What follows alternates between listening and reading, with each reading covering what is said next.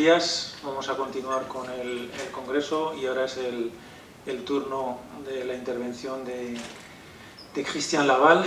Eh, bueno, voy a ahorrarme demasiadas eh, presentaciones porque como llevamos varios días coincidiendo y trabajando colectivamente, pues no voy a repetir lo que ya dije en, en, en intervenciones eh, anteriores. Simplemente, pues eh, evidentemente volver a, decir que, es un verdadero placer pues, pues contar con, con, con Cristian Laval aquí en, en, Zaragoza, en el contexto de nuestro, de nuestro congreso con, con, Marx, aunque siempre que viene a Zaragoza yo no sé qué, qué, pasa, la última vez se estropeó el tren, ahora hay huelga de aviones y eh, hemos tenido un follón, un follón tremendo, espero que esto no sea motivo para que la próxima vez que le digamos de venir a Zaragoza, pues diga que no viene. Je viendrai en voiture. Tiene que en coche. bueno, eh, no, yo creo que, que, que, se sabe muy bien acogido a pesar de todas las dificultades y luego además tenemos el FAGUS para, para animarles a, a venir a Zaragoza. Bueno, eh, pues sin más dilación, eh, yo le doy la palabra a, a Cristian, que me ha dicho que va a ir haciendo algún salto en la, en la conferencia. Voy a intentar ser consciente de esos saltos para, para seguir, eh, ir bajando el, el, texto convenientemente. Si en algún momento me pierdo, pues se lo, se lo diré para, para que no os perdáis también desde, desde el público. Eh, la intervención tiene por título Marx y la utopía, una cuestión estratégica eh, actual. Eh bien, merci euh, Juan Manuel, merci à toutes euh, et à tous euh, qui ont contribué à l'organisation de ce, colloque. Je voudrais euh, donc euh, dire mon plaisir d'être à nouveau euh, ici malgré tous les déboires que Juan Manuel a, a, a mentionné. Alors j'ai voulu faire une intervention, ce n'est pas encore dans le, sur l'écran, mais juste je voulais dire que j'ai voulu faire une intervention pour conjoindre deux anniversaires, le bicentenaire de Marx et euh, les 50 ans de, de mai 68. Quiere hacer una intervención en la que se juntan dos aniversarios, el de mayo del 68 y el 200 aniversario de Marx. D'où le, le, titre et le, le, rapport que je voudrais faire entre Marx et l'utopie. En 68, donc, des utopistes qui étaient très minoritaires à l'époque ont réussi à entraîner toute une société euh, dans un mouvement profondément révolutionnaire qui a échoué, on le sait, euh, mais qui a entraîné en fait une grève massive, une des plus grandes grèves de l'histoire de, France et peut-être même d'Europe, de, voire euh, plus encore. Euh, C'est un moment où les acteurs de 68 euh, ont le sentiment que tout est possible. Or, ce tout est possible relève justement de l'utopie. Si on comprend qu'il ne s'agit pas d'un vain rêve, mais de ce que Ernst Bloch appelait un élan utopique qui apparaît quand une société ou au moins une fraction significative de celle-ci, se met à envisager la possibilité de vivre autrement, penser que le cours des choses peut être radicalement changé, que le mode de pensée ordinaire peut ne plus avoir cours, justement. C'est cet impensable, cet impossible qui surviennent justement là où personne ne les attendait. C'est très exactement le sens de formules encore en usage aujourd'hui. Une autre vie est possible, un autre monde est possible. Ouvrir donc des possibles comme autant de brèches dans l'ordre des choses, c'est-à-dire dans la structure de la domination quotidienne, nécessite de convoquer un impossible dans le présent. Edgar Quinet, euh, au XIXe siècle, avait eu cette belle phrase à propos de la Révolution française en disant qu'elle avait su ramener sur terre la foi à l'impossible. C'est exactement ce que les murs de 68, les graffitis sur les murs de 68 ont répété. Soyez réalistes, demandez l'impossible. Et Henri Lefebvre euh, avait conclu l'impossible d'aujourd'hui, c'est le possible de demain. Évidemment, il ne suffit pas de proclamer, comme en 68, l'imagination au pouvoir. Il y a imagination et imagination, ou plus exactement, il y a plusieurs imaginaires. Si l'on entend justement un produit imaginaire comme produit de la faculté d'imagination. Les groupes dominants imposent, via les médias, les institutions capitalistes, un imaginaire qui nous englut dans les rapports de domination ordinaire qui nous laisse entrevoir comme avenir possible, sous les allures du nouveau, que la perpétuation, l'intensification, l'aggravation de ce que nous vivons déjà en laissant croire qu'au bout du chemin des sacrifices, au bout des efforts à consentir, il y aurait enfin un répit, un petit bout, un petit morceau de bonheur à récupérer. Le néolibéralisme a su proposer et imposer un imaginaire très pauvre sans doute, mais un imaginaire quand même, un imaginaire que nous appelons avec un imaginaire entrepreneurial, qui promet d'ouvrir un avenir souhaitable en déformant, en retournant les aspirations collectives émancipatrices de 68 en aspirations individualistes et accumulatrices. Toutes ces raisons font qu'il est important de réfléchir à la place de l'imagination dans le mouvement social, dans les organisations syndicales, dans l'économie solidaire et sociale. Dès lors que se sont écroulés les systèmes politiques et sociaux qui ont usurpé les mots de socialisme et de communisme, la question qui se pose, c'est y a-t-il encore place justement pour l'utopie? Et quelle place cette utopie peut-elle occuper dans une stratégie de transformation sociale? N'implique-t-elle pas de revenir sur la relation assez complexe que Marx lui-même a entretenue avec le discours utopique? Pour résumer d'emblée le sens de mon propos, je dirais que le problème stratégique n'est pas de répéter 68, encore moins peut-être de répéter 1917. Il doit consister plutôt à réarticuler d'une nouvelle manière les pratiques et les expérimentations dans lesquelles nous pouvons d'ores et déjà, ici et maintenant, nous engager, et la production d'un imaginaire alternatif et la perspective de la révolution sociale et politique.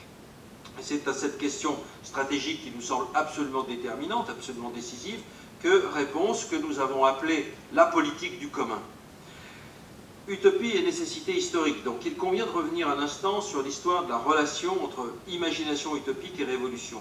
Avec la domination du marxisme sur le mouvement ouvrier, on a assisté à une certaine disqualification de l'imagination utopique. Excusez-moi un moment, parce que nous avons eh, changé les, textes et je suis perdu.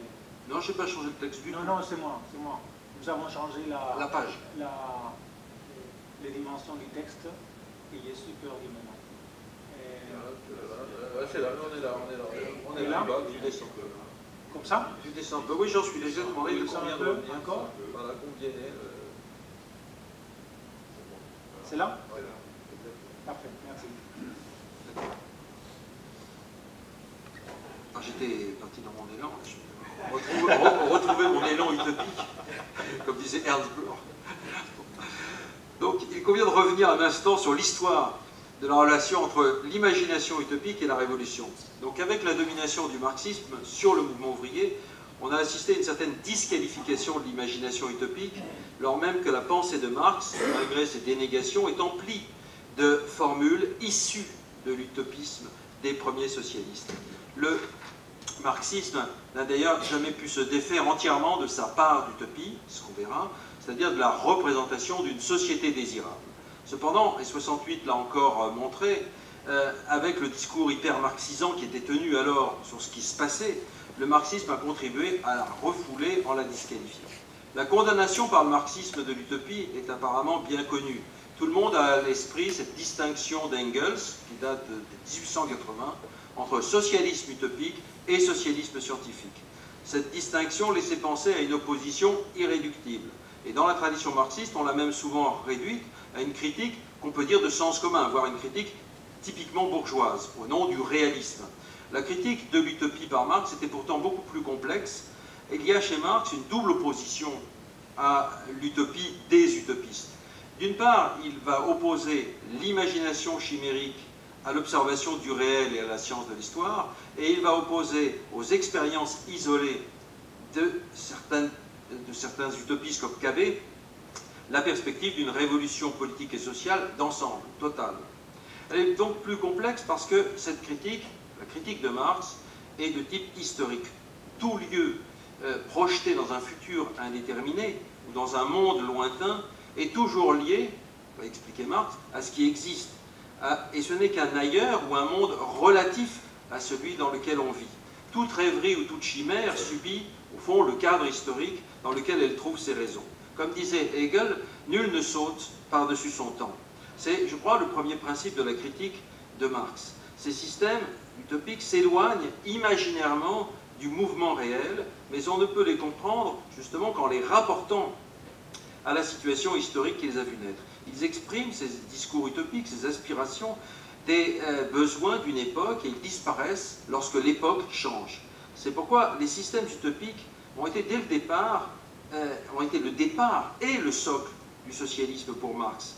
Mais les peintures de la société future n'ont été utiles qu'au tout premier moment de la lutte ouvrière et bientôt ne correspondent plus au stade de conscience et d'organisation auquel est parvenu le mouvement ouvrier. Ce qui leur manquait pour devenir des systèmes véritablement scientifiques, ce qui les condamnait à n'être que des rêves, c'était précisément les conditions historiques, matérielles, sociales, c'était le plein développement de l'industrie d'un côté et des luttes de classe de l'autre. Le socialisme est devenu scientifique lorsqu'il a cessé de rêver un système détaillé parfait et s'est attaché au mouvement réel, à la lutte des classes, aux contradictions du capitalisme. Et on connaît cette remarque de l'idéologie allemande. Je cite, La révolution communiste ne se laisse pas guider par les institutions sociales de réformateurs ingénieux, mais bien par l'état des forces productives. C'est ce que dit avec force la formule célèbre qui identifie le communisme au mouvement en cours d'abolition de l'état des choses existantes. Je cite, Le communisme n'est pour nous ni un État qui doit être créé, ni un idéal sur lequel la réalité devra se régler. Nous appelons communisme le mouvement réel qui abolit l'État actuel. Et cette science de l'histoire est justement supposée expliquer pourquoi ces luttes, ces contradictions doivent mener nécessairement à l'accouchement d'une formation sociale supérieure. C'est bien pourquoi on trouve partout chez Marx ce dénigrement des utopistes qui ne font qu'exprimer un idéal abstrait, faute de pouvoir s'appuyer sur la marche de l'histoire. C'est ce qu'il affirme dès 1947 dans Misère de la philosophie contre Proudhon et les autres socialistes et communistes utopiques, qui se présentent dans l'histoire comme les premiers théoriciens de la classe prolétaire. Tant que le prolétariat n'est pas encore assez développé pour se constituer en classe, que par conséquent la lutte même du prolétariat avec la bourgeoisie n'a pas encore un caractère politique, et que les forces productives ne se sont pas encore assez développées dans le sein de la bourgeoisie elle-même pour laisser entrevoir les conditions matérielles nécessaires à l'affranchissement du prolétariat et à la formation d'une société nouvelle, ces théoriciens ne sont que des utopistes qui, pour obvier aux besoins des classes opprimées, improvisent des systèmes et courent après une science régénératrice. Mais à mesure que l'histoire marche et qu'avec elle la lutte du prolétariat se dessine plus nettement, ils n'ont plus besoin de chercher de la science dans leur esprit, ils n'ont qu'à se rendre compte de ce qui se passe devant leurs yeux et de s'en faire l'organe. Tant qu'ils cherchent la science et ne font que des systèmes, tant qu'ils sont au début de la lutte, ils ne voient dans la misère que la misère, sans y voir le côté révolutionnaire, subversif, qui renversera la société ancienne. Dès ce moment, la science produite par le mouvement historique et s'y associant en pleine connaissance de cause, a cessé d'être doctrinaire. Elle est devenue révolutionnaire. La seule chose à faire donc pour se défaire de l'utopie, c'est d'ouvrir, je répète ce que dit Marx, c'est d'ouvrir les yeux sur ce qui se passe et de découvrir les processus qui inéluctablement donneront lieu à un dépassement du capitalisme. La lecture du présent, l'ouverture des yeux, permet donc d'anticiper l'avenir. C'est pour cette raison que Marx s'est toujours refusé à, selon une expression très célèbre, faire bouillir les marmites de l'avenir. Il répétera inlassablement, comme il le fait encore dans la guerre civile en France, qui était si souvent mentionnée dans ce colloque, que la classe ouvrière n'a pas d'utopie toute faite à introduire par décret du peuple, qu'elle n'a pas à réaliser l'idéal, mais seulement à libérer les éléments de la société nouvelle que porte dans ses flancs la vieille société bourgeoise qui s'effondre.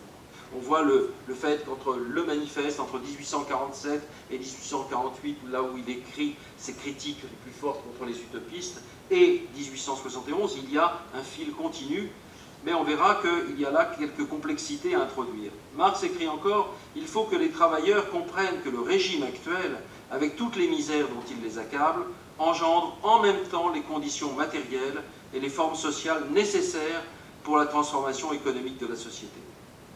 Le prolétariat donc peut voir dans le présent son avenir et ce qu'il doit faire pour le réaliser. Et c'est bien sûr la, connaissance des conditions, l'émancipation, et non les rêves chimériques, qui leur donnera le désir et la force d'agir. En somme, les utopies sont critiquées en ce qu'elles ne sont pas ajustées aux conditions réelles de l'époque. Non pas qu'elles anticipent l'avenir de façon irréaliste, non pas qu'elles soient trop en avance, elles sont en fait en retard sur le développement réel de l'histoire et reflètent bien souvent des points de vue de classe en déclin. C'est le cas du socialisme que Marx et Engels ont qualifié de socialisme aristocratique ou de petit bourgeois. Pourtant, peut-on réduire l'anticipation à une lecture scientifique du présent? Y a-t-il pas dans l'anticipation, dans l'espérance qui l'accompagne, une force, une force réelle qui permet justement de faire advenir l'avenir souhaitable? Certes, répond Marx, mais à condition que cette anticipation reste toujours ajustée aux possibilités objectives. Mais il y a une autre critique de l'utopie chez Marx qui nous intéresse peut-être plus encore, parce qu'elle pose une question stratégique très importante. Dans le manifeste du Parti communiste, Marx va jusqu'à dire que la peinture imaginaire de la société future est devenue réactionnaire, dans la mesure où les disciples des grands utopistes cherchent à émousser la lutte des classes et à concilier les antagonismes. C'est une critique qui fait de l'utopie un élément, une dimension de la conservation sociale. Ce que Marx critique alors, c'est le caractère partiel et clos de l'expérience utopique, et par là son caractère qu'il juge inconciliable avec la révolution politique et sociale d'ensemble. La partie ici s'oppose au tout. Ces petites révolutions sociales, dans leur coin, constituent au fond pour Marx et Engels un refus de la révolution politique et sociale. C'est d'ailleurs du fait de cette partialité que ces expériences doctrinaires, comme il l'écrit dans le 18 Brumaire, faisant référence à la création des Icaries, chers à Étienne Cabet, doivent nécessairement échouer, comme l'écrivent Marx et Engels dans le manifeste. L'expérience utopique divise la classe ouvrière au lieu de l'unifier. Les grandes abstractions des utopistes ne donnent lieu qu'à des tentatives locales, isolées, sans horizon révolutionnaire, sans effet général de propagation et de diffusion. La problématique utopique se passe de la révolution, mieux, elle est la négation de la praxis révolutionnaire, et c'est pour cela qu'elle est condamnée à rester finalement conservatrice. La critique porte sur le fait que les utopistes n'envisagent donc que des transformations partielles et non pas la totalité de l'émancipation, qui suppose une transformation de toutes les conditions qui la permettront. Si l'utopie est chimérique, c'est parce qu'elle est une abstraction qui isole un fragment de la société et non sa totalité. Évidemment, Marx n'en est pas resté à cette opposition tranchée entre utopie et révolution. Il y a un texte important qui le montre, qui est celui de l'adresse inaugurale de l'Association internationale des travailleurs, un texte donc de 1864.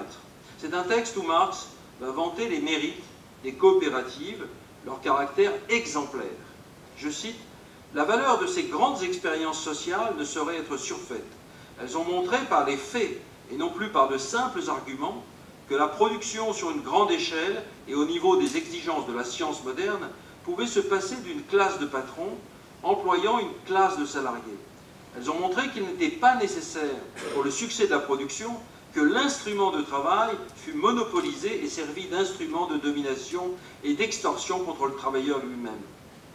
Elles ont montré que contre le travail esclave, comme le travail serf, le travail salarié n'était qu'une forme transitoire et inférieure destinée à disparaître devant le travail associé, exécuté avec entrain dans la joie et le bon vouloir. Même si c'est pour ajouter quelques lignes plus loin, avec donc toute une réserve qu'on comprend mieux, que pour affranchir les masses travailleuses, la coopération doit atteindre un développement national et par conséquent être soutenue et propagée par des moyens nationaux. En d'autres termes, qu'on ne saurait se contenter de quelques expériences dispersées, plus ou moins soutenues et vantées par quelques bourgeois philanthropes. Faire l'économie de la prise du pouvoir de l'État et de son remplacement par l'association libre des producteurs. Je cite Marx, la conquête du pouvoir politique est donc devenue le premier devoir de la classe ouvrière, précise-t-il. Il n'y a plus place ici pour la dénonciation, en tout cas des, expériences isolées, qui ne pourraient que disperser euh, la classe ouvrière, la désunir. Il n'y a plus d'opposition aussi tranchée entre révolution politique d'un côté et reconstruction de la société à partir d'expérimentation. Ce que Marx semble saisir à ce moment-là, c'est ce que les ouvriers peuvent avoir devant les yeux. C'est que les ouvriers peuvent avoir devant les yeux, ce n'est pas seulement leur misère, leur exploitation, et, même les possibilités d'organisation et de lutte. Ce que les ouvriers, avec les coopératives, peuvent avoir devant les yeux, ce sont des expériences alternatives réelles et la démonstration que des alternatives sont possibles, surtout à un moment de répression, de défaite et de recul de la perspective révolutionnaire, qui était le cas au moment où euh, Marx écrivait ce texte. Notons ici le déplacement. Il ne s'agit plus de représentation utopique, il s'agit de réalisation pratique, elle-même articulée à un avenir souhaitable. Littéralement, on pourrait parler ici, ce texte de Marx, de pratiques utopiques. Pourtant, cette importance relève encore de l'exemplification, de l'illustration, non de la stratégie révolutionnaire. Encore une fois, la critique tient au caractère partiel des transformations initiées par les ouvriers. Certes, elles ne sont plus traitées comme des initiatives réactionnaires ou conservatrices, mais dans le schéma dialectique de Marx, elles ne peuvent être que marginales dans la mesure où elles sont inintégrables dans la conception qu'il se fait du développement historique. Puisque, comme on sait, c'est par la généralisation du salariat, sous la domination du capital, de plus en plus concentré, que seront créées les conditions économiques, techniques, de la formation d'une classe ouvrière nombreuse et homogène. Que doit-on en conclure? On voit encore ici au travail une tension dans la pensée de Marx.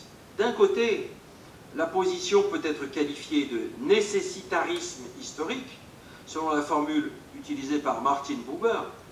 Il y a une nécessité historique qui ne peut que dévaloriser ou marginaliser le rôle de l'imagination, puisque, au fond, c'est le capitalisme lui-même qui donne naissance aux conditions de l'émancipation.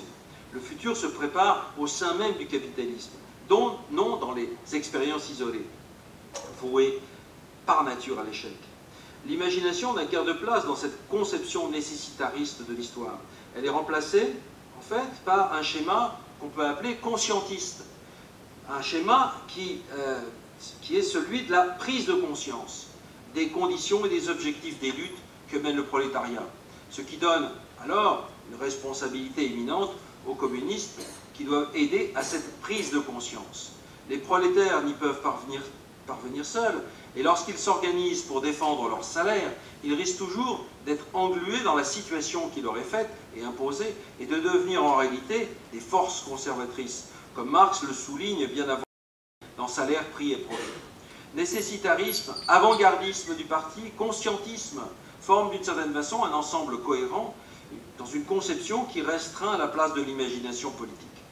Cette nécessité historique, telle qu'elle fonctionne dans l'argumentaire de Marx, est à la fois le comble de la croyance scientiste et le comble de l'utopie. Tout se passe comme si la science elle-même menait à la réalisation de l'utopie, comme si la connaissance des lois historiques permettait de se donner l'horizon de l'émancipation totale et universelle du genre humain. Comme si, en somme, la science prenait la place de l'imagination et jouait son rôle dans la pensée de Marx. C'est ce que Miguel Abensour, à la suite de Karl Korsch, a appelé un sauvetage par transfert de l'utopie par le communisme critique, en tant que tension vers le futur, ou encore sauvetage de l'utopie grâce à une ontologie. En somme, la science supposée, la nécessité historique, n'est pas une utopie en elle-même, mais elle en tient lieu. Elle en tient lieu. C'est un tenant-lieu de l'utopie en que l'analyse des processus capitalistes s'effectue du point de vue du futur, c'est-à-dire du point de vue du développement vers une autre société.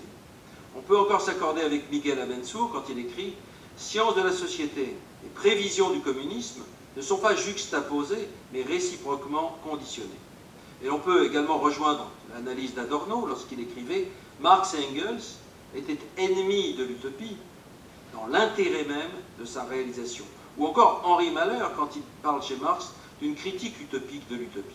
Car avoir pour projet une société sans classe, une société sans État, une société même débarrassée de la politique, viser la réalisation d'une libre association de producteurs et le dépassement de la division du travail, n'est-ce pas reprendre à son compte pour la transformer le, pour le transformer le discours utopique, transformer l'utopie en prévision scientifiquement fondée.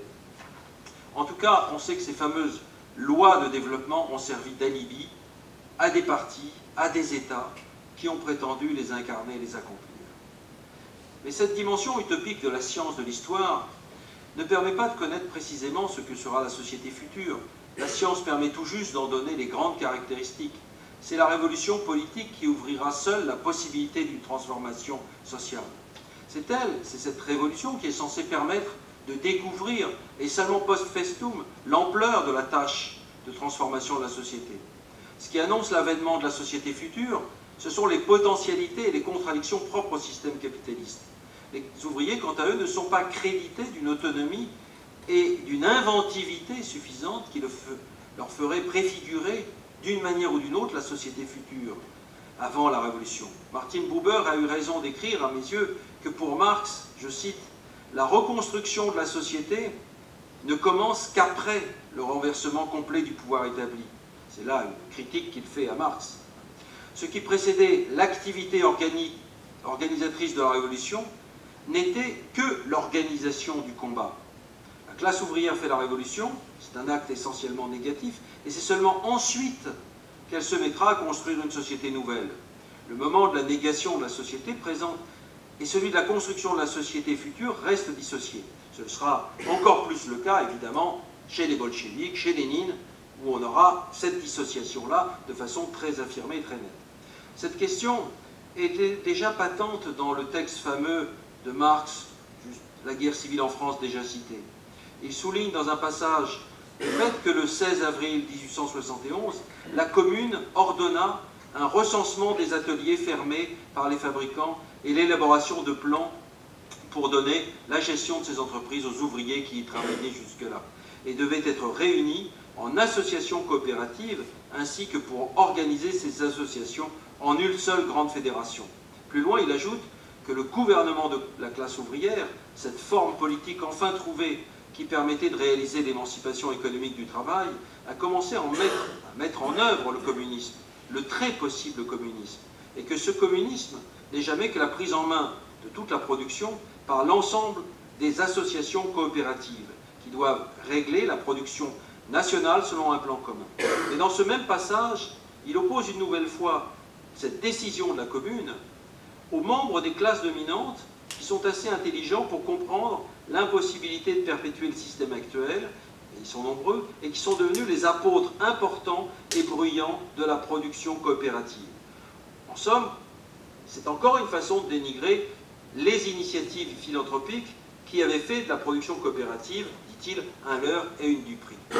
Alors ce qui reste de l'angle mort de l'analyse de Marx, c'est, même dans ce texte, le lien qu'il ne fait pas entre les expériences antérieures à la commune, celles par exemple qui se sont développées euh, dans les années 40 et dans la foulée de la révolution de 1848, et la révolution politique et sociale. Les communards n'ont pas tout inventé. Ils sont les héritiers d'une tradition d'expérimentateurs qui avaient déjà expérimenté la forme coopérative. Nous ne pouvons euh, plus croire euh, aujourd'hui, euh, comme les marxistes d'antan, que le capitalisme va accoucher par lui-même d'une formation sociale supérieure.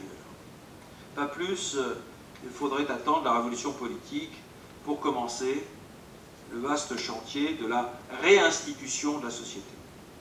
J'en dégagerai quatre raisons. La première, c'est évidemment l'échec complet, définitif des formes du communisme qui ont été réalisées jusqu'à présent, c'est-à-dire le communisme bureaucratique d'État. Je n'y insisterai pas, je dirais juste que sans un examen critique radical de ce qui s'est produit alors, il n'y a aucun espoir de reformulation d'un projet révolutionnaire. Il faut bien convenir de cela, nous n'avons plus de modèle, il faut tout inventer, et pour cela, il faut expérimenter. Deuxième raison, la seconde, tient à l'englument du mouvement ouvrier, syndical, politique, dans la situation capitaliste. Pour le dire plus directement, et sur ce point Marx avait vu juste dans le texte que j'ai cité tout à l'heure à propos des syndicats, les organisations du mouvement ouvrier peuvent devenir, sont souvent devenues, sont encore des forces conservatrices du fait de leur participation aux institutions capitalistes et étatiques. On sait que Marx fait le reproche aux syndicats, je l'ai dit tout à l'heure, d'abandonner le but, l'abolition du salariat, au profit d'une lutte pour un salaire supposé équitable. La situation même du salariat fait que la lutte qu'il peut mener sous la forme, je cite Marx, d'escarmouche contre le capital, conduit à intérioriser la domination et l'exploitation. Bruno Trentin en a fait la démonstration pour le XXe siècle dans son livre La Cité du Travail lorsqu'il montre que les syndicats et la gauche en général, sauf de petites minorités demeurées révolutionnaires, ont accepté la subordination au capital, ont troqué la soumission des travailleurs au taylorisme et au fordisme contre l'augmentation du salaire réel et la protection sociale. Ce qui signifie quelque chose de très important, dont André Gors a eu l'intuition. Le devenir capitaliste n'entraîne aucunement par lui-même la formation de ses propres fossoyeurs. Cette dangereuse illusion portée par Marx et le marxisme, qui ne cesse d'ailleurs de se reproduire quand certains continuent aujourd'hui de croire que le capitalisme cognitif engendre par lui-même une sorte de communisme spontané et informel. Cette dangereuse illusion doit être révoquée. Et d'ailleurs, elle est en train, me semble-t-il, de se dissiper. La troisième raison est que l'utopie n'est pas morte avec le développement des forces productives et des luttes de classe comme le pensait Marx. Elle a survécu, elle n'a jamais cessé de hanter le mouvement ouvrier, de le déborder. Elle a même été le ressort de grandes transformations sociales. C'est pourquoi euh, il faut ici rappeler que l'état du bien-être, la protection sociale, la sécurité sociale ont d'une certaine façon été portés par un élan utopique, mais que ces institutions-là ont été débordées par des mouvements de masse comme en 68. La quatrième raison, peut-être la plus fondamentale, quoique plus difficilement euh, appréhendable, tient à ce que le rapport à l'histoire est en train de se modifier radicalement. Non pas seulement à cause de ce qu'on appelle le présentisme néolibéral, mais à cause du fait que la temporalité moderne, qui permettait de se projeter dans un futur nécessairement meilleur, ce qui a fait du marxisme d'ailleurs une doctrine authentiquement moderne, c'est-à-dire authentiquement, entièrement conforme au régime d'historicité moderne, est aujourd'hui épuisée. Et ceci est lié à la dévastation à la fois écologique et sociologique produite par le capitalisme et le néolibéralisme. Le capitalisme n'engendre plus les conditions de son propre dépassement. Le capitalisme produit les conditions de la destruction et du pourrissement du monde naturel et humain. C'est une rupture fondamentale et qui explique que le marxisme soit lui-même entré en crise profonde. Du moins, si on continue d'identifier le marxisme avec le principe dialectique de l'histoire qui nous caractérise. Échec complet du communisme bureaucratique d'État, donc, englument des organisations ouvrières dans la situation capitaliste et étatique, récurrence de l'utopie, crise du progressisme et de l'évolutionnisme moderne ont remis en question le schéma stratégique de Marx, qui avait pour fondement justement cette vision dialectique de l'histoire, qui faisait du socialisme une nécessité. C'est précisément l'ensemble de ces données, à la fois objectives mais aussi subjectives, qui nous obligent à changer aujourd'hui le rapport que nous établissons, nous devons établir entre expérimentation locale, partielle sans doute, et la révolution. C'est cela qui aujourd'hui entraîne la réhabilitation sur le plan politique de ces expérimentations que l'on peut appeler, avec le marxiste américain Eric Olin Bright, des utopies réelles. On voit s'opérer un changement radical d'attitude donc des mouvements et des individus critiques. S'il s'agit bien de refaire une société sur de nouvelles bases, cette entreprise peut et même doit être commencée avant la Révolution, avant qu'on appelait la prise du pouvoir, par l'institution dès aujourd'hui de virtualité ou de potentialité émancipatrice, comme l'avait montré contre Marx, contre son nécessitarisme, Martin Buber déjà cité. Elle doit être commencée avant, dans la mesure même où l'on ne peut plus croire que la bonne société de l'avenir est contenue dans la mauvaise, qui tombera comme un fruit mûr. Il faut commencer par mettre en œuvre, autant qu'on le peut, de nouveaux principes d'activité, laquelle dès avant la prise du pouvoir, laquelle prise du pouvoir d'ailleurs change elle-même de sens, puisqu'elle ne pourra plus s'opérer en dehors de ses réalisations. Ce n'est plus le modèle de la prise de conscience qui joue alors, comme chez Marx, mais un autre modèle qui doit associer étroitement expérience concrète et imaginaire, institution et subjectivité, action politique et créativité instituante. Il s'agit d'un nouveau paradigme du communisme révolutionnaire qui passe de la nécessité historique à la possibilité propre à l'action politique collective. C'est, si l'on veut utiliser un terme ancien, dans un sens tout à fait nouveau, un possibilisme communiste, qui cherche à explorer, à exploiter toutes les possibilités alternatives, ou plus exactement altératrices, dès aujourd'hui. Altération, qui est un terme plus intéressant, me semble-t-il, que celui d'alternative, lequel semble indiquer qu'il existe déjà un modèle tout fait à appliquer. Et des pratiques, donc, compte tenu des conditions objectives de l'action politique. Ce n'est pas simplement un réformisme qui se coulerait dans les plis de la société pour mieux la laisser telle qu'elle est, c'est ce qu'on pourrait appeler aussi un expérimentalisme politique ou un communisme expérimental qui se fonde sur les capacités de la libre praxis instituante des individus dans leur situation. Il s'agit d'un projet révolutionnaire qui réarticule des expérimentations actuelles et l'affrontement central avec l'appareil d'État. Il s'agit d'une reformulation stratégique de la révolution qui redonne une place centrale à la fois à l'imagination, à l'action politique et aux expérimentations qu'elles soient locales, sectorielles, ou qu'elles s'inscrivent même dans des mouvements beaucoup plus vastes, comme on l'a vu par exemple en Espagne avec le quinzaine, ou dans de très nombreuses autres mobilisations de masse ces dernières années, et comme on le voit en ce moment en France avec les mouvements des Gilets jaunes.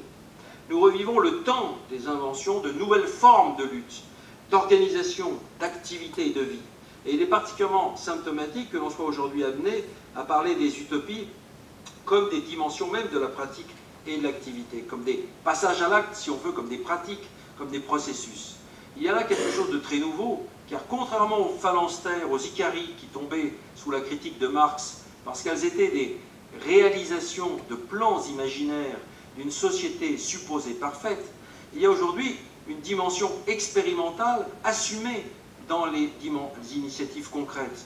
Et je pourrais citer ici la ZAD euh, française euh, à Nantes, euh, la zone à défendre, ou des expérimentations à Montréal, comme celle du bâtiment 7. Et on pourrait en citer beaucoup en Italie ou ailleurs. Ces expérimentations, donc, font que n'est plus dans le schéma de la rêverie d'une société parfaite, qui, justement, entraînait, était un repoussoir du désir. Parler d'utopie réelle ou de pratiques utopiques, c'est joindre deux termes, qui, euh, pour former ce qui ressemble à un oxymore riche de sens. Euh, Eric Olin que j'ai mentionné, euh, explique que ce terme d'utopie réelle, mais on pourrait parler donc de pratiques utopiques, cristallise la tension entre rêves et pratiques. D'un côté, il y a l'expression, l'expression veut dire que nous avons besoin, comme Hans Bloch l'avait déjà souligné en son temps, d'espérance, pour se défaire de la tyrannie du passé, d'une conscience anticipante de ce qui peut et doit advenir. De l'autre, le terme, l'expression souligne que cette conscience et ce désir d'un autre futur, d'un autre avenir, doivent et peuvent se convertir en praxis animée par l'élan utopique, qu'ils peuvent donner lieu à des réalisations pratiques, à de nouvelles institutions régies par des principes opposés à ceux du capitalisme et de la bureaucratie d'État. C'est pourquoi on peut être tout à fait d'accord avec Eric Olin Wright, malgré toutes les limites de euh, son livre, de son travail sur les utopies réelles. On peut être d'accord avec lui lorsqu'il avance l'idée suivante la tâche centrale des politiques émancipatrices aujourd'hui est de créer de telles institutions. Il ne s'agit en aucune manière d'établir le plan définitif d'une société, mais de mettre en œuvre des pratiques émancipatrices au milieu d'un environnement hostile mais qui laisse des failles, ou comme le dit justement Eric Wright, qui laisse des interstices. Exploiter les interstices, cela peut avoir plusieurs effets, on peut en distinguer quatre. L'érosion, la préfiguration, la subjectivation, la création institutionnelle. Il y a d'abord, ce sur quoi insiste beaucoup Eric Wright, l'effet d'érosion du capitalisme de l'intérieur et par le bas. On pourrait donc, nous, parler plutôt de pratiques d'altération. nous préférons parler de pratiques d'altération ou de pratiques altératrices. Une érosion, une altération qui, par voie d'élargissement progressif des expérimentations, peuvent venir contrarier concrètement, mais jusqu'à un certain point, le fonctionnement économique et politique du système. Qui est évidemment euh, très difficile, tant, tant ce dernier a les moyens de contrôler la situation d'ensemble. Mais peut-être que ce qui peut s'éroder n'est pas tant le fonctionnement du système capitaliste étatique, comme le dit Eric Wright, ce qui peut s'éroder, s'altérer, c'est ce que j'appellerais le monopole de l'imaginaire néolibéral. C'est ce qu'on peut alors appeler, ce qu'on peut relier à cet effet de préfiguration que Marx avait d'ailleurs euh, justement souligné dans ce texte de 1864 que j'ai mentionné tout à l'heure. L'effet de préfiguration d'une société réellement démocratique, émancipée du capital, de la bureaucratie et de la hiérarchie. L'expérience altératrice, pour être limitée et partielle, procure une possible image réduite de la société de l'avenir. Elle est productrice en tout cas d'un imaginaire alternatif. Et elle modifie justement les subjectivités de ceux qui sont investis dans ces pratiques. C'est l'effet, semble-t-il, qu'on peut appeler de subjectivation. Euh, aussi bien les expérimentations locales que les inventions de pratiques nouvelles dans les grands mouvements de masse engendrent, produisent des dynamiques subjectives aux effets durables, productrices de multiples autres effets sur les relations sociales. Elles permettent d'apprendre, par la pratique même, l'égalité, l'égalité réelle, réellement vécue, la polyvalence des activités, la démocratie effectivement pratiquée. Toutes dimensions de la pratique qui sont particulièrement importantes à développer dès avant la rupture révolutionnaire pour éviter autant que possible la reproduction des formes de pouvoir, la reproduction des formes d'appropriation que l'on trouve dans la société. Il y a aussi et peut-être surtout l'effet de création institutionnelle. Et euh, avec Pierre, euh, notre travail sur le commun, c'est ce sur quoi nous avons surtout insisté. D'une certaine façon, la création d'institutions nouvelles conditionne tous les autres effets. Il s'agit de commencer à constituer une, ce qu'on pourrait appeler une base institutionnelle, mais aussi culturelle et subjective à la société post-capitaliste, d'entretenir un imaginaire par l'institution, euh, un imaginaire égalitaire et démocratique, sans lequel la, rupture révolutionnaire risque de verser à nouveau dans une forme étatiste, autoritaire, verticale, voire totalitaire. Et cela ne peut se faire que par la création, dès maintenant, de formes institutionnelles, d'espaces institutionnels nouveaux. C'est la condition de la réussite des politiques de rupture qui doivent pouvoir s'appuyer lorsqu'elles ont lieu à tous les niveaux, au niveau municipal, au niveau national et même au niveau mondial. Ces politiques de rupture doivent pouvoir s'appuyer sur un réseau d'institutions autonomes du pouvoir pour éviter d'être justement sous la pression des forces adverses, forces économiques, forces politiques, pour ne pas être justement également tenté d'instrumentaliser ces institutions sociales, et surtout pour s'appuyer sur de nouvelles images, de nouvelles réalisations pour les généraliser. C'est ce réseau d'institutions alternatives qui peut à la fois ancrer tout pouvoir politique, qu'il soit municipal, régional ou national, dans le processus révolutionnaire. Alors ne pas opposer la transformation ici et maintenant et la rupture révolutionnaire, ce n'est pas tout à fait nouveau, c'est le grand apport, me semble-t-il, de Martin Buber, que j'ai cité à plusieurs reprises.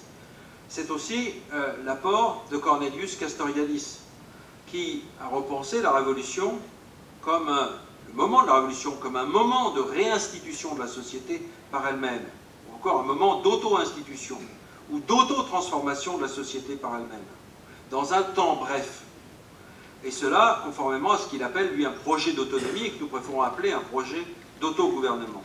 Mais ce qui nous intéresse dans cette définition de la révolution comme moment bref, comme moment soudain de refonte des institutions centrales, fondamentales de la société, c'est qu'elle permet également de ne pas opposer la création des institutions altératrices ici et maintenant et le moment révolutionnaire. Elle permet d'y voir plutôt la possibilité de relais, de points d'appui, en tout cas de manière politique d'agir qui n'hypostasie ni l'expérimentation d'aujourd'hui, ni le moment révolutionnaire de demain. Et créer une institution altératrice aujourd'hui qui prépare la révolution, cela suppose deux dimensions importantes. La première, sans doute une méthode pratique incarnée dans des règles collectives, que nous avons appelé une praxis instituante. La seconde, l'élaboration, l'affirmation d'un principe politique méta-institutionnel et transversal qui puisse guider la transformation sociale dans l'ensemble de la société. C'est ce que nous avons appelé le principe politique du commun, dans un sens assez différent euh, des sens, des significations qui lui ont été accordées jusqu'à présent dans ce colloque, dans plusieurs interventions. Il s'agit donc pour nous de refaire une société dont la norme fondamentale de fonctionnement serait de laisser la plus grande place possible à l'imagination collective et à la capacité des individus de transformer les institutions dans lesquelles ils vivent. Ce qu'il s'agit d'expérimenter, ce n'est pas l'application d'un modèle, mais une méthode qui laisse toujours la place à l'instituant, comme l'a dit euh, Pierre hier, à la remise en cause de la dimension instituée, pour préparer une société qui ne serait pas complètement asservie à son, institut, institué, mais qui pourrait au contraire laisser place à des pratiques critiques et constructives, à cette praxis instituante qui permettrait la critique et le changement nécessaire à un fonctionnement réellement démocratique. Ne serait-ce que pour se défendre contre ces phénomènes de bureaucratisation, de hiérarchisation, de reconstitution des formes de réappropriation privée. C'est d'ailleurs ce que Castoriadis expliquait quand il disait « Nous ne pouvons viser qu'à changer le rapport entre la société instituante et la société instituée, nous ne pouvons donc vouloir qu'une société qui condamne une fois pour toutes le règne de l'institué et qui cherche le rapport correct, le rapport juste entre instituant et institué. Cette capacité de remise en cause permanente de l'institué, c'est la démocratie réellement pratiquée selon des règles collectives qui elles-mêmes doivent pouvoir être sans cesse révisées. Ce qui, selon nous, se développe dans ce qu'on appelle de façon générique les communs. Ce qui, dans le monde entier, prend le nom de commun, a pour caractéristique d'être institué de façon démocratique et répondre, avec certes beaucoup de variantes, à un projet d'autogouvernement de l'institution un projet qui consiste à ce que la mise en commun des efforts, du temps, de l'intelligence, des connaissances, soit régie par des règles d'autogouvernement. Et ces communs ont une autre dimension, ils mettent en question le monopole du droit de la propriété privée. Ils font valoir un droit supérieur à celui de la propriété privée sous la forme des droits d'usage collectif. Ces deux dimensions réunies constituent à nos yeux le contenu d'un principe politique méta-institutionnel transversal appelé principe du commun. Nous entendons par là un principe qui ne se limite pas à quelques expériences isolées, mais qui permet de penser la transformation et d'agir de façon cohérente dans tous les secteurs de la société et de l'État. Il ne s'agit pas d'une utopie au sens de l'invention d'une société entièrement réglée jusqu'au moindre détail et parfaitement ordonnée à un savoir détenu par on ne sait qui, ou plutôt par on, sait bien par qui, des savants du social et de l'économie, des chefs de parti, des experts professionnels, des ingénieurs, etc. Il ne s'agit pas d'un projet qui vient du haut, il naît de toutes les initiatives du bas qui prennent la forme de ce que nous appelons des institutions de commun, du commun ou plus simplement des communs. Il ne suffit pas de donner une direction et de dire voilà où l'on doit aller si on est vraiment socialiste ou communiste, ou à l'inverse de dire que ces initiatives ne doivent pas s'articuler, être pensées ensemble dans une vision déterminée de la société ce serait en quelque sorte continuer à donner des directives du haut. Le travail théorique des nouveaux communistes, des communistes du commun, devrait plutôt consister à ouvrir les yeux sur ce qui se passe, comme le recommandait Marx, afin d'observer que dans les luttes et dans les expérimentations, dans les mobilisations, dans les colères sociales, un nouveau communisme peut s'inventer par le bas. Ce travail à faire n'est pas de simple recensement, il consiste à dégager, à partir des luttes et des expériences et des mobilisations, ce qui les fait converger vers une certaine forme de société, la société du commun. Un tel projet ne descend pas du ciel, donc il provient des luttes elles-mêmes et des discours qui accompagnent ces luttes, qui sont produits dans ces luttes. L'imagination théorique consiste à dégager, à partir des pratiques, le concept qui les anime et faire en sorte que puissent se reconnaître, se confronter s'articuler conceptuellement des pratiques qui ont lieu dans des espaces, des pays, des domaines apparemment éloignés les uns des autres. Que ce soit le monde de l'agriculture, les pratiques numériques, la création artistique, les formes d'autogestion productive, etc. Ce travail théorique a une visée stratégique qui rend inutile de distinguer ou d'opposer des stratégies interstitielles, révolutionnaires ou social-démocrates, comme le fait Eric Wright. Car ces distinctions appartiennent précisément au passé de la gauche et, je dirais, au passé de ces divisions. Il nous faut construire une stratégie révolutionnaire unifiée si l'on comprend bien que les expérimentations locales, les mobilisations de masse, les organisations politiques et syndicales et toutes les institutions existantes, notamment les services publics, sont susceptibles d'être transformées selon un principe qui est à la fois démocratique et non propriétaire. Car il n'y a pas à opposer la forme du mouvement et l'objectif, il n'y a pas à opposer une action par le bas une action par le haut, une action, une action au sein de la société et une action gouvernementale. Il faut à la fois refuser l'hypostase de l'expérience isolée et celle de la prise du pouvoir d'État. Il y a en effet deux écueils politiques à éviter. L'un serait d'imposer du haut une plateforme, un mode d'emploi, un programme, L'autre serait de penser que toutes les initiatives du bas n'ont rien à voir les unes avec les autres, qu'elles n'ont pas à se coordonner, qu'il ne faut pas rechercher le principe qui les rapproche et par lequel elles peuvent donner lieu à une politique. Ni unité par le haut, ni atomisation sans lien entre elles. La stratégie du commun consiste à relier politiquement toutes ces formes d'action selon le principe du commun et à rendre conforme la, et à rendre conforme la forme de l'action et son but. La tâche qui nous est donc impartie consiste à relier entre elles toutes les luttes et les expérimentations selon deux axes. Démocratie radicale, c'est-à-dire autogouvernement,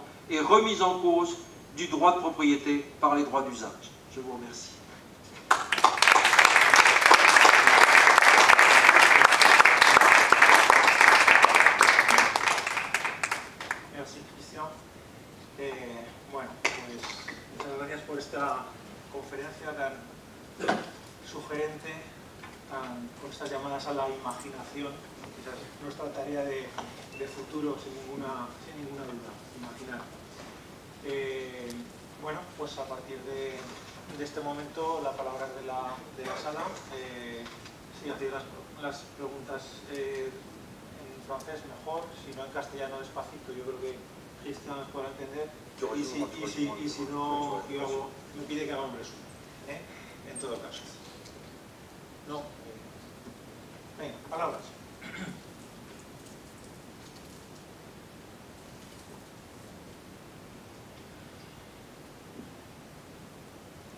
Bueno, ante todo, muchas gracias por la exposición que creo que ha sido extraordinaria, estaba muy bien, muy bien. Solo quería preguntar una cosa muy concreta, es la cuestión de los comunes, que suponen desde luego algún tipo de redistribución distinta, riqueza también y una, efectivamente una del derecho de uso en vez del derecho de propiedad. ¿Cómo ve eh, la posibilidad de sincronizar en esa aplicación del método de los comunes en lo que sería eh, sincronizar digamos, esferas distintas, territoriales o de distintos grupos, etcétera, cómo él vería esa posible sincronización para la estrategia de los comunes. De cómo les coordonner, les synchroniser. Ben, ce qu'il faut déjà observer, c'est ce, le type de coordination qui se crée euh, aujourd'hui.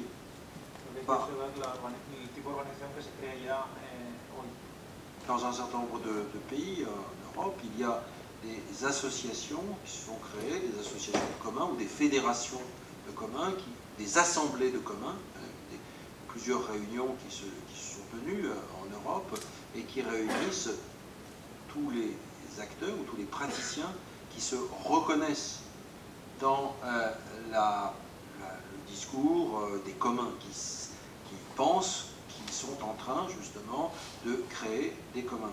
Donc, en algunos países de Europa ya existe esa articulación entre, entre, aquellos que se sienten ya partícipes de esta estrategia de, de...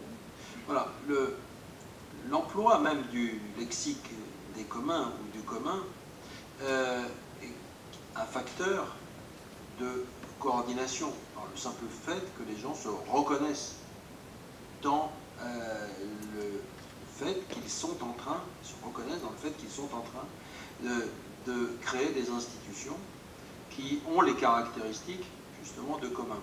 Incluso el hecho de utilizar la palabra común, el léxico del, del común ya implica una tendencia a considerarse dentro del mismo proyecto. Euh, les propos que nous tenons, les livres que nous écrivons, euh, ont un effet euh, de ce genre. Hier soir, dans une, la Pantera Rosa, je donne un exemple très concret, une jeune femme équatorienne est venue me voir en disant voilà, nous développons un projet de commun Équateur, un projet de commun, et euh, nous nous reconnaissons maintenant, non plus dans le langage traditionnel de la communauté, mais dans celui des communs. Ayer mismo en la Pantera Rosa una muchacha ecuatoriana se acercó para comentarle que en Ecuador están desarrollando un proyecto eh, bajo este paraguas de la idea de- del común y no tanto de la, de la, la comunidad y que por tanto se, se reconocen en este movimiento del común. Et ceci à partir de la lecture d'un certain nombre d'ouvrages ou d'articles euh, qui ont travaillé, qui ont en- engendré au fond euh, des transformations euh, intellectuelles, subjectives et politiques. como consecuencia de la lectura de, de trabajos que hablan en esta dirección. Je donnerai un autre exemple, celui de ce qu'on appelle en France l'économie sociale et solidaire. Eh, otro ejemplo sería la economía social y solidaria francesa. Euh, l'économie sociale et solidaire est un terrain de lutte euh, entre euh, les tenants néolibéraux de l'entreprise sociale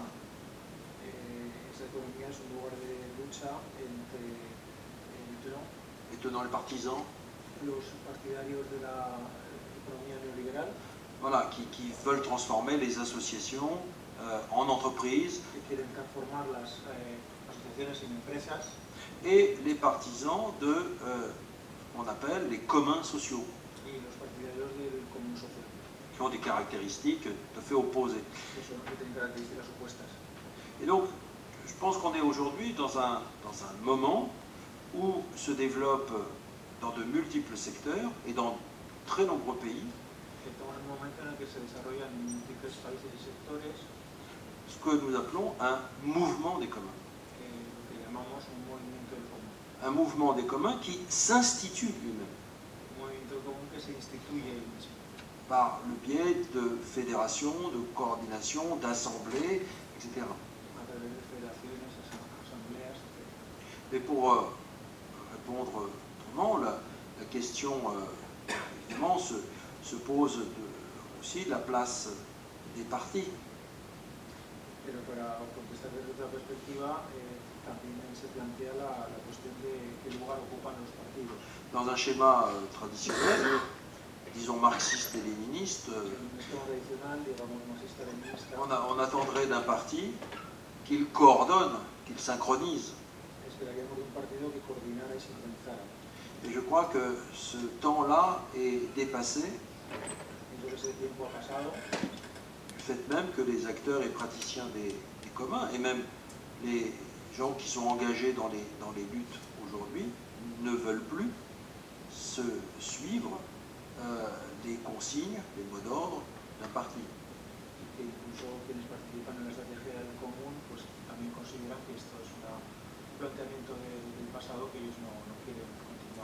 Ce qu'on voit plutôt, euh, enfin ce sur quoi nous, euh, ce que nous avons observé, et ce qui nous semble le plus prometteur, c'est plutôt des formes de coalition démocratique qui euh, associent justement euh, des euh, associations euh, sociales, euh, des mouvements politiques, euh, des syndicats, etc., plus qu'un parti dirigeant un, un mouvement social. formas de organización en las que participan sindicatos asociaciones y las que los partidos tradicionales no tienen demasiada presencia. Ce sur quoi nous parions, c'est une transformation en quelque sorte de toutes les institutions existantes selon le principe du commun.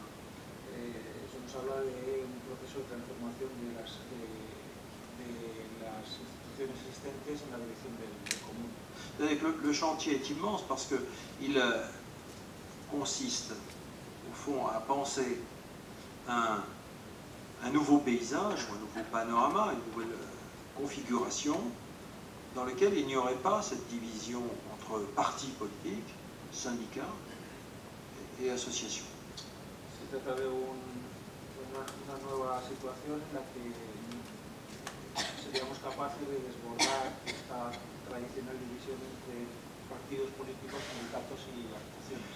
Car on ne pense pas suffisamment au fait que le mouvement ouvrier s'est construit sur ce trépied, sur ces trois piliers, et qui a entraîné une division du travail aujourd'hui largement dépassée.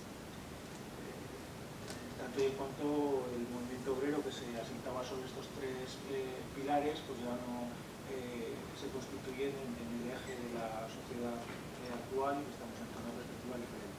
D'accord. Donc c'est à l'intérieur de chacune de ces, de ces milieux, euh, de ces, de ces formes d'organisation, que le principe commun doit travailler.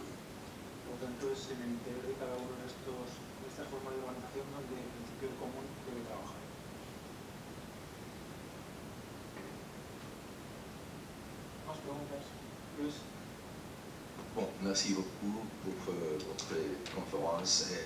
Et, et, je, veux, je veux tenter euh, formuler la question en français. Et si, si, si elle précise, euh, m'a euh. Euh, euh, si je ne comprends pas mal la, conclusion de sa lecture de la commune, c'est qu'il faut faire des expériences, même si ces expériences n'ont pas succès maintenant, hein, parce qu'ils peuvent être peut-être le laboratoire du futur, comme le cas de la commune qui a eu euh, des expériences euh, antérieures comme condition de possibilité de la, propre euh, commune. Bien, tout, d'accord, mais je crois que aussi important que faire ces expériences et savoir pourquoi ils ont été manqués. Je crois que c'est la dimension scientifique qu'on doit conserver de l'esprit de, de, de. N'oubliez pas les sons de la réalité, n'oubliez pas euh, la logique du réel. Et à ce propos, euh, je voudrais euh, demander une réflexion sur un fait très connu. Parce que je crois qu'il faut reconnaître que les expériences, par exemple coopérativistes, du coopérativisme en général, n'ont pas euh, presque succès. Je crois que le seul euh, expériment, peut-être le- le- l'expériment plus important que nous avons ici en Espagne, euh, c'est le cas de Mondragon. Je ne sais pas si vous connaissez l'expériment de la coopérative de Mondragon. Aujourd'hui, elle vit en crise euh, terrible et très grave. Alors, je voudrais vous demander euh, quel serait, en première fois, votre diagnostic à propos de ces frustrations de, de, nouveau institution, comment, comment il a été euh, l'expériment de, de Mondragon ou, ou l'expériment de et si il y a euh, des expériences euh, pareilles euh, à ce niveau global, parce que Mondragon a été un acteur global pendant un certain moment historique, et dans le cas de France. hein. Parce que je, me reviens que, euh, par exemple, euh, euh, je suis en train de penser à David Schweikart, un, économiste marxiste des États-Unis, qui, pendant les années 80, euh, euh, ont, eux, montrant comme un modèle, une possibilité ouverte pour pratiquer une autre économie. Alors, euh, pour moi, pour les gens qui euh, ont, ont, ont euh, foi dans ces, dans ces modèles, la, frustration avec le, le, final de Mondron, ça a été terrible. Y traduciré muy rápidamente la, la cuestión. Lo que planteaba básicamente es que si no había entendido mal el sentido de la, de la intervención de- del profesor Laval, es que la comuna había sido en algún sentido un experimento que solo había sido posible gracias a experimentos previos que fracasaron y de los que más no tuvo además aparentemente demasiado interés. ¿no? Y lo que decía es que creo que tan importante como, cómo hacer esos experimentos, que comparto con, con el profesor Laval la necesidad de hacer esos experimentos, es entender por qué fracasan. Y a ese respecto le planteaba el caso, que supongo muchos conoceréis, de, del modelo cooperativista de Mondragón, aquí en España, que durante tiempo pareció ser un actor global de la economía y que sin embargo vive una crisis terrible.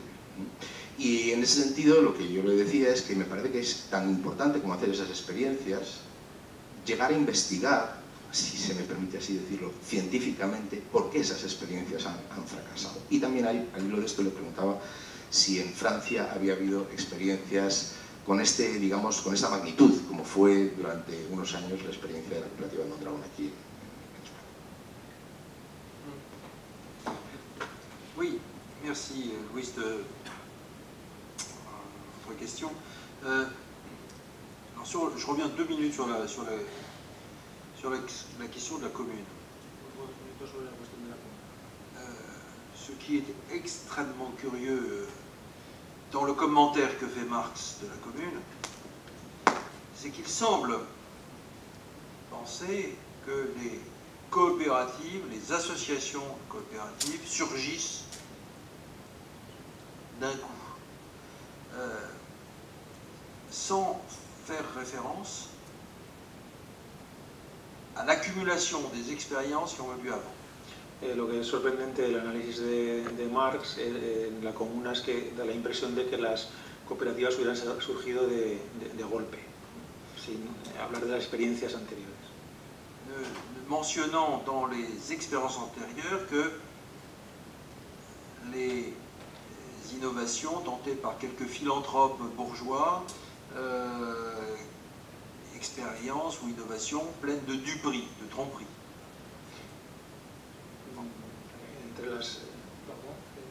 Et quand il fait référence au passé, il ne fait référence qu'à des initiatives de philanthropes qui, Voilà. justement, étaient des duperies, des Sí. Eh, cuando hace referencia al, al pasado entiende que las, exp- las- las experiencias eh, llevadas a cabo por filántropos de orientación burguesa pues no eran más que, más que engaños. Parce que, en fait, euh, ça reste étranger, malgré les concessions de 1864 et de l'adresse inaugurale dont il faudrait s'interroger sur le statut, parce que c'est- Marx qui écrit, mais c'est une adresse institutionnelle, c'est l'international qui parle aussi. Euh, quand il, euh, malgré en dépit de cette, concession, il reste, me semble-t-il, assez fidèle néanmoins à cette idée selon laquelle les expérimentations en question euh, sont extrêmement limitées et en fait sont marginales par rapport au grand mouvement de l'histoire. Eh, considera que estas, estas experiencias son muy marginales en el proceso histórico, aunque también eh, plantea Cristian el hecho de que eh, hay una cierta... eh, es legítimo preguntarse sobre el texto de la comuna, qué hay de Marx en el texto de la comuna, en la medida que era un texto que iba a representar al conjunto de la asociación y que él entiende que Marx está haciendo un texto pues sopesando las diferentes posiciones existentes dentro de la asociación, es decir, hasta qué punto habla Marx en ese, en ese texto? Mais qu'elles sont de fait vouées à l'échec. Considera que son eh, experiencias eh, que, que- que van a ir al fracaso.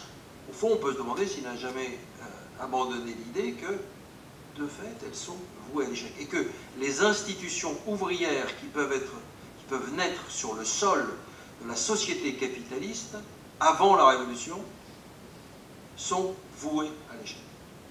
que incluso la idea de que todo tipo de institución eh, obrera en el marco de la sociedad capitalista está condenada al, al fracaso.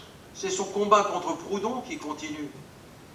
En realidad es- está detrás el combate que mantiene con Proudhon. Étrangement, puisque il reconnaît en même temps la portée révolutionnaire de la constitution communale d'inspiration proudhonienne. Eh, de manera un tanto contradictoria porque, por otra parte, reconoce el carácter revolucionario de la constitución de la comuna, que es de, de inspiración prudoniana. Mais ce que Marx surtout, ne- ce sur quoi il est aveugle, euh, c'est précisément la capacité instituante du mouvement ouvrier au XIXe siècle? Marx está ciego a la, capa- a la capacidad eh, instituyente del, del movimiento obrero, Sa capacité à créer un droit qui est propre, su capacidad de crear un derecho propio, à créer des institutions, des mutuelles, des coopératives, mais aussi des syndicats. crear instituciones, cooperativas, sindicatos. Tout ce que, justement, euh, un Maxime Leroy, nous le citons beaucoup, qui est un, un proudhonien, va mettre, va mettre en avant, va mettre en valeur, en montrant qu'il y a un droit prolétarien qui s'est créé dans le cadre de la société capitaliste. Eh, cuestión que ha sido respondida desde el ámbito de- del, del prudonismo, haciendo ver que hay una generación de, de- de- de- de derecho proletario incluso dentro de la, la sociedad capitalista. Alors, dans un contexte hostile, euh, ces formes nouvelles ont pu dégénérer, je l'ai dit, le syndicalisme a pu euh, largement dégénérer. Sí, en, un contexto hostil es evidente que estas formas pueden degenerar, como ha ocurrido con el sindicalismo. Les grandes mutuelles, les grandes mutuelles euh, nées dans le monde ouvrier euh, ont pu dégénérer aussi en, en entreprise commerciale, on le voit en France. Las eh, iniciativas eh, comerci- pueden, pueden haber fracasado también. Voilà. Mais il n'empêche qu'il faut, le premier temps, c'est de, de reconnaître cette capacité instituante avant de euh, préjuger, d'une certaine façon, un échec inéluctable. Eh, lo que trata es de poner en, en valor estas, estos, estos intentos, estas experiencias, más que desacreditarlas eh, como, como proyecto de futuro. Deuxième, alors, deuxième partie de ma réponse, euh, toute coopérative n'est pas un commun. Nous ne partons pas seulement de l'expérience des coopératives.